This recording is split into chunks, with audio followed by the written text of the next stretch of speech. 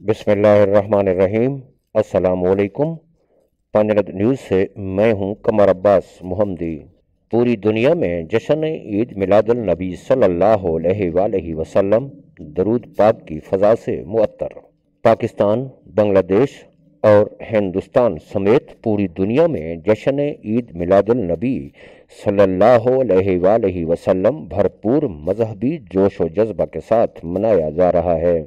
हिंदुस्तान में मसाजिद और मुस्लिम महलों को बरकी कुमकुमों से सजाया गया है, जबकि पाकिस्तान और बांग्लादेश में भी मसाजिद और महलों और सरकारी इमारतों को बहुत ही खूबसूरत तरीके से बरकी कुमकुमों से सजाया गया है, जबकि मिलाद की महाफिल का भी अहतमाम किया जा रहा है। ईद मिलादुलनबी के सिलसिले में आशकान मुस्तफ़ा सल्लल्लाहु अलैहि वसल्लम ने गलियों और बाज़ारों और घरों को बरकी कुमकुमों से दुल्हन की तरह सजाया हुआ है। पाकिस्तान और बांग्लादेश में तमाम सरकारी और गैर सरकारी इमारतों पर चरागा किया गया है, जबकि हिंदुस्तान में मसाजिद और मुस्लिम मार्केटों, बाज़ारों, महलों और शहराओं पर भी खूबसूरत रोशनी का अहतमाम किया गया है।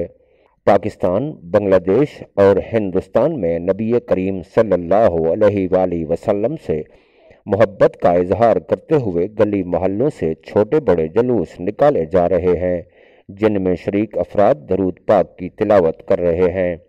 ईद मिलादुलनबी के मौका पर अमन व अमान बरकरार रखने के लिए लाहौर, कराची, कोयटा और दीगर शहरों समेत, दीगर बड़े शहरों समेत मोटरसाइकिलों की डबल सवारी पर पाबंदी और मोबाइल सर्विस बंद रखने का फैसला किया गया है। यमन यमन में अवाम का ठाठे मारता समंदर हजूर हजूर अकरम, हज़रत मोहम्मद सल्लल्लाहु अलैहि वसल्लम की खिदमत में खराज अकीदत पेश करने के लिए मौजूद है।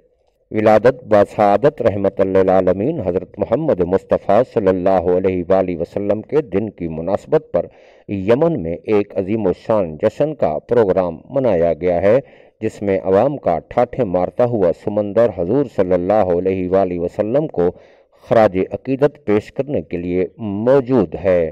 हिंदुस्तान में जलूस ईद मिलादुलनबी सल्लल्लाहु अलैहि वसल्लम के दौरान बड़ा हादसा छः अफराद जाँ बहक। हिंदुस्तान की रियासत उत्तर प्रदेश में आज एतवार को जलूस ईद मिलादुलनबी सल्लल्लाहु अलैहि वसल्लम के दौरान एक बड़ा हादसा पेश आया, जिसमें छः अफराद जाँ बहक हो गए।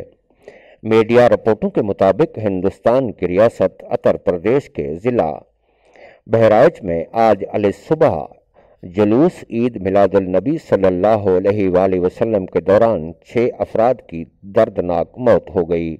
इतला के मुताबिक ज़िला बहराज की नानपारा कोतवाली के भगड़वा गाँव में एतवार को सुबह चार बजे के करीब जुलूस का एक अलम हाई वोल्टेज तार से टकरा गया, जिसकी जिद में आकर चार अफराद मौका पर ही दम तोड़ गए और दो अफराद ने इलाज के दौरान दम तोड़ दिया। कई अफराद इस हादसे में जख्मी भी हुए हैं। जख्मियों को फौरी तौर पर एक नज़दीकी कम्युनिटी सेंटर ले जाया गया, जहाँ से उन्हें हालत तशवीशनाक होने की वजह से लखनऊ भेज दिया गया है। छः अफराद के जाँ बहक होने की तस्दीक हुई है। जहाँ जाँ बहक होने वालों में दो बच्चे भी शामिल हैं। उत्तर प्रदेश के वज़ीर अला योगी आदित्य नाथ ने इस हादसे पर अफसोस और मरने वालों के अहल खाना से हमदर्दी का इजहार किया है। वज़ीर अला ने इलाके के डीएम और आला पुलिस अफसरान को जाए वकुआ पर पहुँचने की हिदायत दी है। छः अफराद के जाम बाहक होने से गाँव में कोहराम मचा हुआ है और लोग गमगीन हैं। मीडिया रिपोर्टों के मुताबिक ग्राम सभा गाँव की इंतजामिया से वाबस्ता फरमान और जहीर ने बताया कि हाई वोल्टेज तार नीचे लटका हुआ था। जिसे ठीक करने के लिए कहा गया था, लेकिन मुतल महकमे ने इस तरफ़ कोई तवज्जो नहीं दी। नाजरीन, आज के दिन की मुनासबत से तमाम मुसलमान मिलकर दुआ करें कि अल्लाह तबारक व ताली पूरी दुनिया की हिफाजत फरमाए ख़ास तौर पर जो इस वक्त ममलिकत इस्लामिया पाकिस्तान की हालत है और दुनिया में जो हालत यूक्रेन और रूस की है, बहुत गलत ख़बरें आ रही हैं। दुआ करें कि खालिक कायनात महबूब किबरिया मोहम्मद मुस्तफ़ा सल्ला वसम के सदक़े हम सब पे अपनी खसूसी रहमत का नजूल फरमाए। इसी के साथ ही कमर अब्बास मोहम्मदी को इजाज़त दीजिए।